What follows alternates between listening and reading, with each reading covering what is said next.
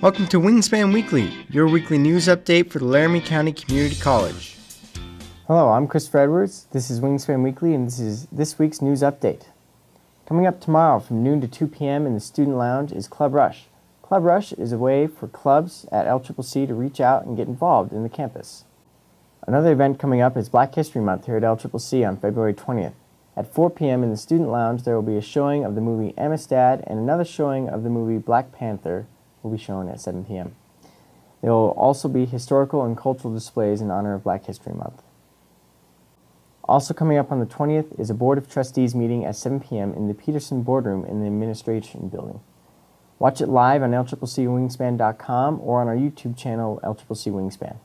Further down the line, the LCCC Theater program will be putting on The Curious Incident of the Dog in the Night Time later this spring in late April and early May. Stay tuned for more coverage on this as we get closer to the performance date. Be sure to look out for our newest issue on Wingspan in print. They hit the stands across campus today. This has been your week's update with Wingspan Weekly. Join us every Monday for your weekly news update.